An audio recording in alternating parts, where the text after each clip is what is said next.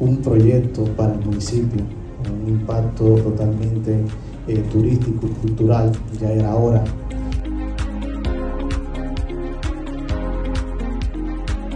Eh, si para mí fue atractivo siendo dominicano, sabiendo todo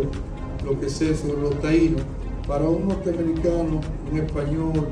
o un suramericano o cualquier nacionalidad del mundo venir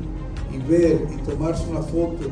eh, al lado de una figura como esta, de una recreación, de un tallado o de un artista como Minier que se dedicó a estudiar esto, será algo significativo.